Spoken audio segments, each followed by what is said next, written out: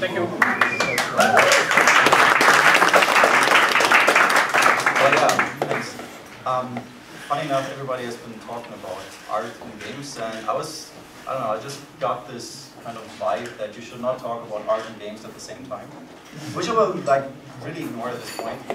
Um, so first of all, like I will talk about art games, and that's my name. And well, I guess the first confession I have to do is I'm not a gamer. Um, well, I am a gamer again, but I've not been the whole time. So I started pretty much with that game, 1998, I think it was. And uh, it ended with this game. and then there was about six years of silence until 2010. And I started to do like, something like games again. Um, so between that, my kind of background um, starts as being a computer science scholar in a sense. So I studied computer science and worked in statistical analysis. So these kind of things. And um, I thought this is not really enough because it doesn't really, doesn't really, I mean it makes sense, but it's just not for me. And um, I started to go into the direction of media art and started to study media art. And um, these kind of things.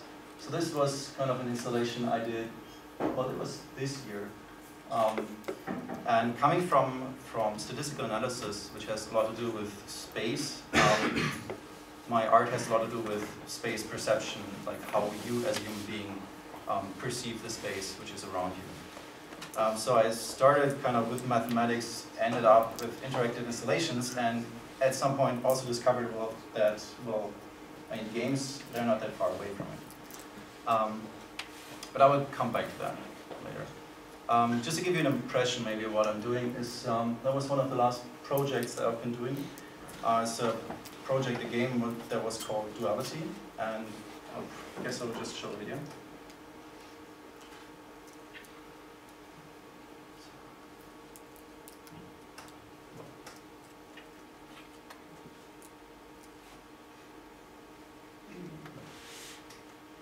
There will not be any sign. No, there's no sign. Um, so this is basic. It looks like a kind of two-player game, which is not. So it's just a game pretty much, based on, on two screens. Um, the objective of the game, it looks like a, what you saw, so one thing there. Uh, it looks like a, like an old school platform game, but it's not. So these, these two worlds on these two screens, they differ only slightly and you can only solve the levels um, if you think about what happens if you're doing one thing on the one world and one thing in the other world. And um, that was shown on a festival um, about game and art. And the interesting finding was that um, people interested in art got it really easily and they were really, really kind of amazed by it. Um, but people who are more out of the, um, out of the um, gaming scene, um, they really got pissed off because their ideas about how games works, uh, how, how games work and how a game should be, it didn't meet their kind of requirements for games.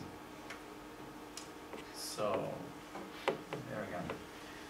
Um, well, that was pretty much like one these screens. So you had these two worlds and um, we had to solve them at the same time. However, um, so the thing is, and the question that, like, for me was, um, are interactive installations games, or is it just, is it a kind of a subgenre, or um, where's the borderline there? And um, I brought some examples. It just, this, this is like just a very, very short thing that I did this year um, here in Berlin for Social Media Week, which is just like a pretty much a, a small audiovisual installation. Um, this is most certainly not a game because it just reacts on what you're doing, but that's all of it. So there's there's no game-like elements, no game mechanics in there. Um, but this is a very interesting game from 2011. I don't know if you see it, um, which was done by Michael Feeling uh, in Karlsruhe, where I also studied. Um, this was played by um, with two controllers, so people could play against each other. And uh, the whole goal of the game was to impress this little duck. and impressing worked with, um, one party could, uh, was able to, to control here these frogs, and the other these, these apes. And uh, as soon as you were, you were pressing a button on your, on your controller, um, these eyes started to flash. And whoever party uh, was, was doing the, the strangest, um, strangest patterns of uh, flashing eyes, was impressing this, this small duck and it started to glow and to creak. And so it was pretty funny. But also the question was like, is this a game? Like what, what's happening there? Because it was pretty, a pretty simple pattern that you had to, to press. And as soon as people got to know that, kind of the idea of playing against each other, um, well, didn't really make sense anymore.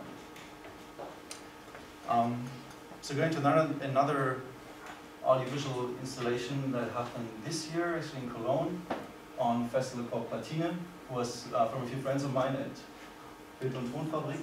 So they did kind of an audiovisual projection on the, uh, I think it was called the Kirchnerstrom in Cologne.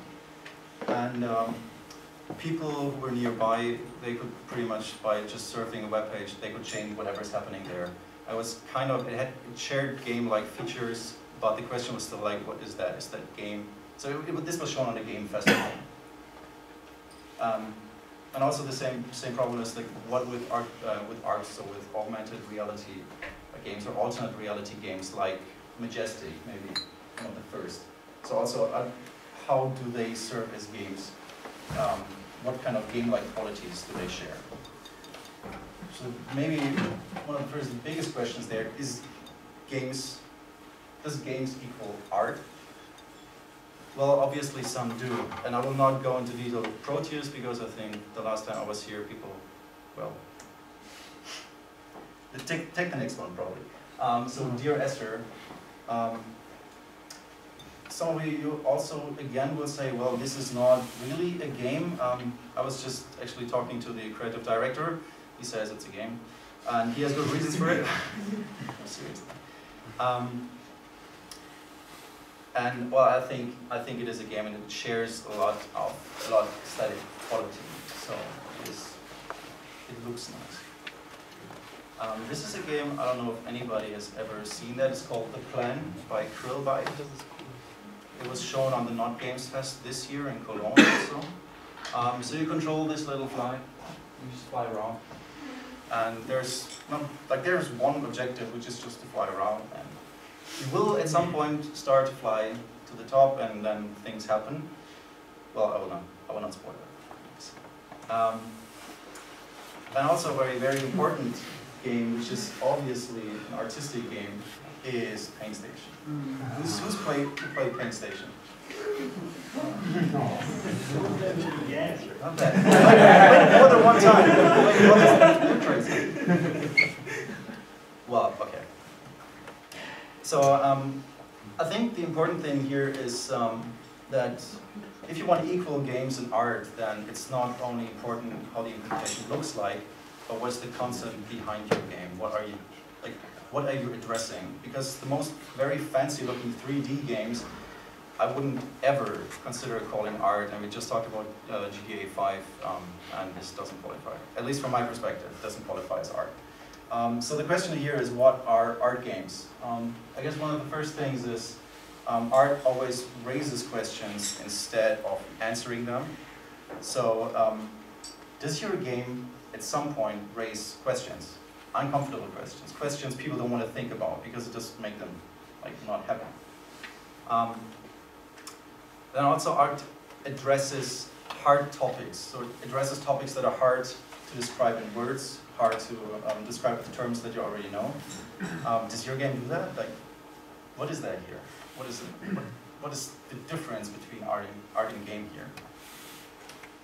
Um, and then if you're creating the game, is your person, in a sense, directly involved in this creation of the game? Like, is there some, some part of your personality um, inside of this game? Because art is always an externalization of something that's kind of inside you that you want to let out. So it's always connected to the developer. They're on a, um, to the, it's connected to the feelings, to the thoughts, to this inner personality of the developer of the artist.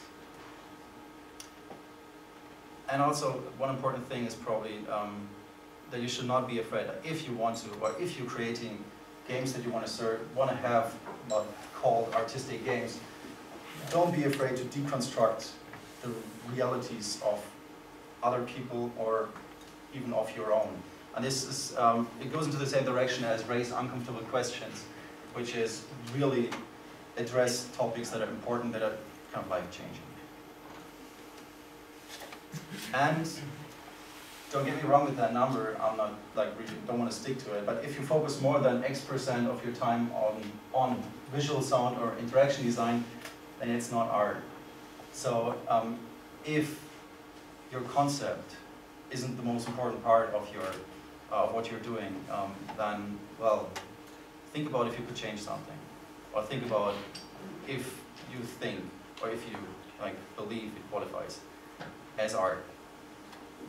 Um, however, um, the thing is, I mean, being an artist, everybody can say, well, I'm an artist, and basically it is just a decision to say that.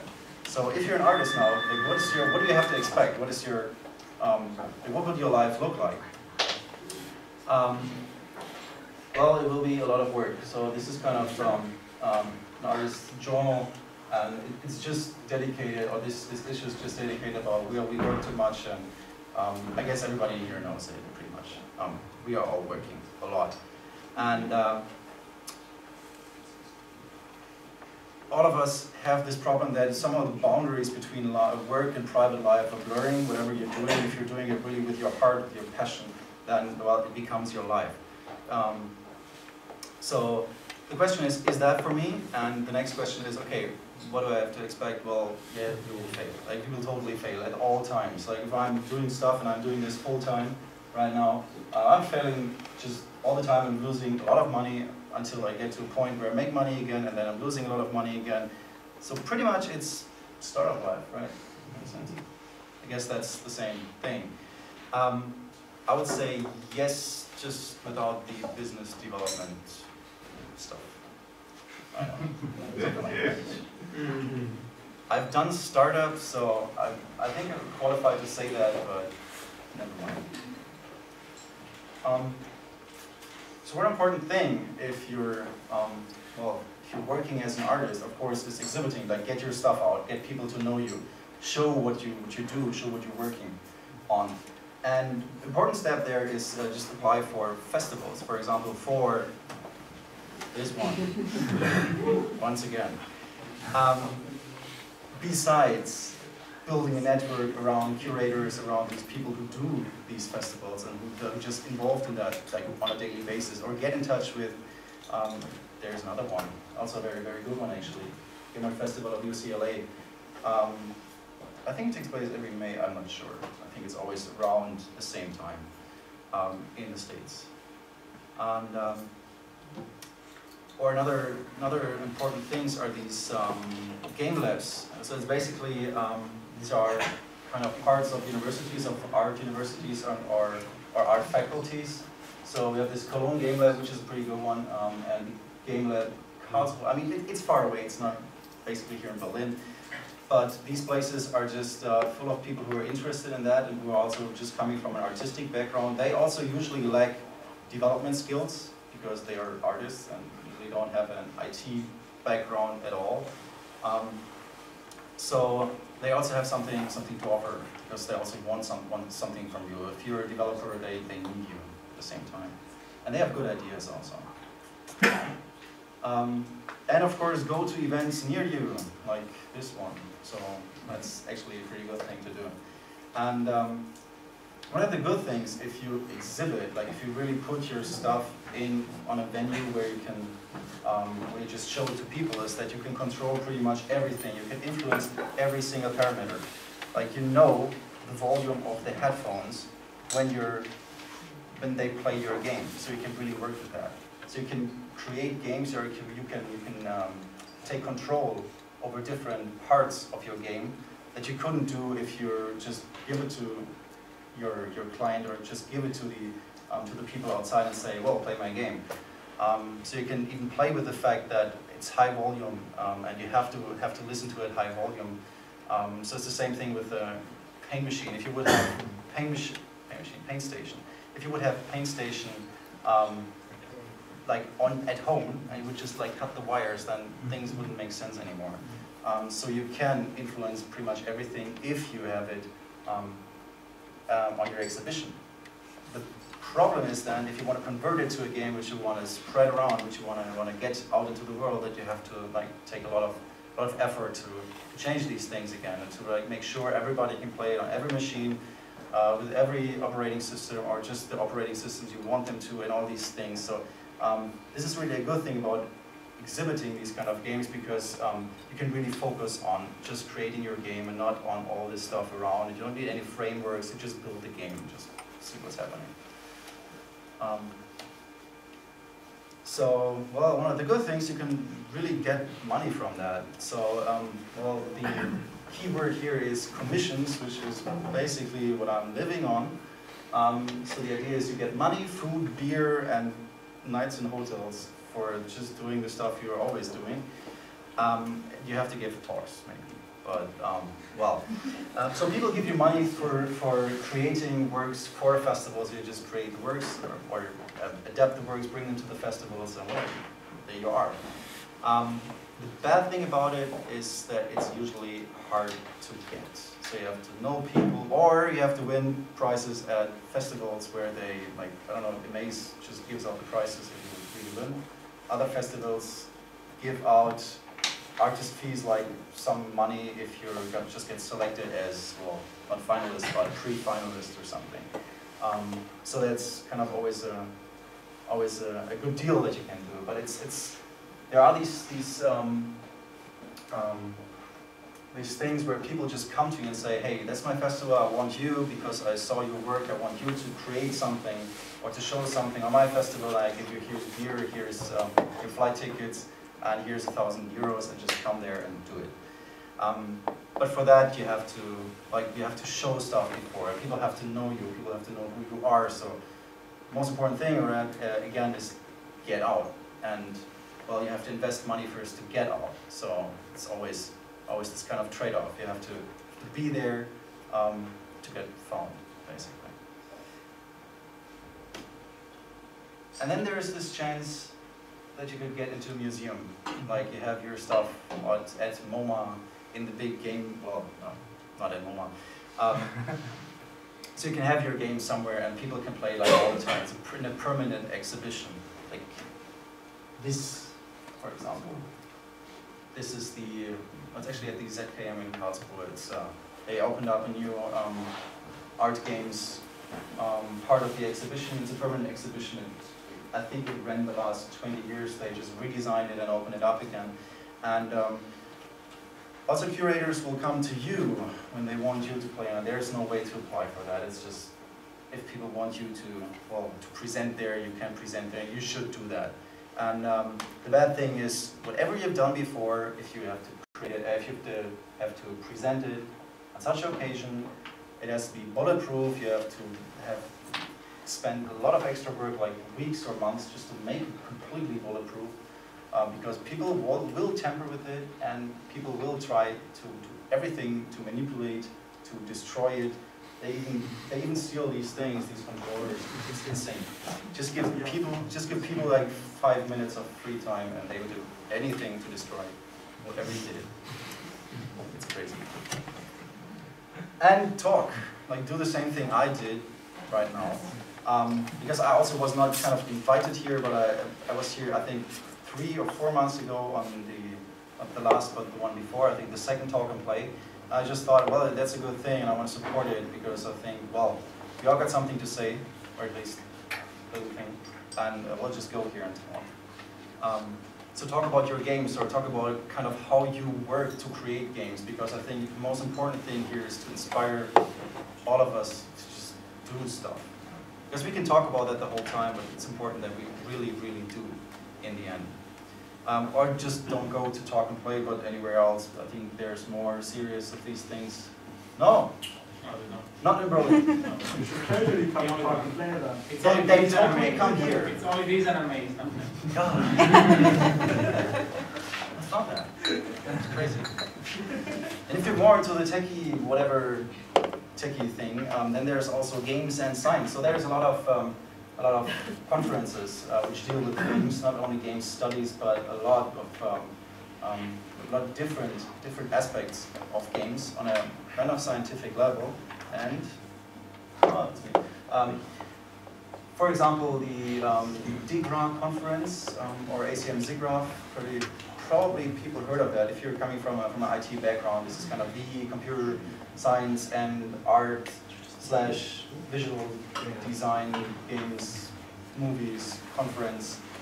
Um, these things cost a lot of money. That's the, that's the um, well, um, the not so nice part of it. Um, but first of all, you meet a lot of people who have money, which is good, and you meet a lot of people, um, well, you meet a lot of people. So um, it gives you, again, more, uh, more audience and, um, well, people will get to notice you, or hopefully get to notice you. Um, so one of them, for example, is this one. It's interesting because there is a game design competition and they first, for the first time ever focused really and want to have people send in their games and they have a deadline in 7th of January, but they even finance you to get there. So it's, and I don't think a lot of people will apply there. I just don't think so. And they call it student work, so if you happen to have a student ID or know somebody who has or are willing to spend 150 euros for, um, what is it, um, well, enrollment fee, then you have a student ID afterwards. And it doesn't matter what you're student, like, just go. I heard University of Greifswald is uh, very easy to get in. Why, why don't you think a lot of people will apply? Um, because, first of all, they had three or four deadlines already. They just passed, and they just kept on having that open. uh, that's usually a bad sign, or a good sign if you want that. And um, it's a very, it's these these conferences, especially this G conference, is um, is very scientific, and they're doing it for the first time, so it's. Um, um, they will not have a lot of people there. So you think they're desperate but very cool, Yes. right? Okay. I don't know if they are very, they are usually very cool, these, these things. They have good buffet. Where is it again? This one will be in Vancouver, so if you happen to be there. But I guess, I think if, if you get selected, they will fly you, they, they will fund at least parts of it, part of your journey. You will probably have to pay for this if you um, so in the end, I think the most important part is just do whatever you love. And um, being an artist or like doing these things, creating games, I mean, you all know it. Um, it just sucks away all of your time, everything you have. And uh, well, but just in the end, if there's a bunch of people standing around your game on a festival where there's lots of other games, but kind of your game is the coolest, then this is a very, very nice thing to be and a very nice place. If you're standing there and you're not revealing that you're somehow connected to this artwork, people are really having like an honest opinion, then um, that's actually a pretty cool thing. Um, so for me, I wouldn't do anything else, I guess. Even though I would not consider myself at all being a game developer or designer, but that's kind of one of the things that I, like for myself, saw as being a very valuable experience to well, focus on, on this game design part of what I'm doing. Thanks.